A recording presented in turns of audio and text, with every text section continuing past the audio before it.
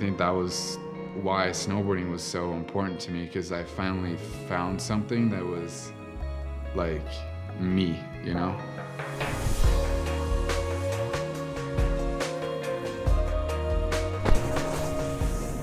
Then I saw Heikki Sorsa on TV with the mohawk, and I was like, snowboarding is so legit, dude. This is what I gotta do.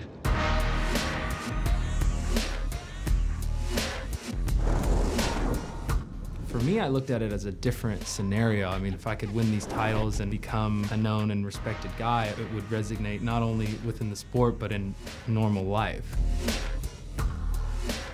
Snowboarding for me is, it's my life. It's how I live on and off the board. I don't do snowboarding, I am a snowboarder, you know?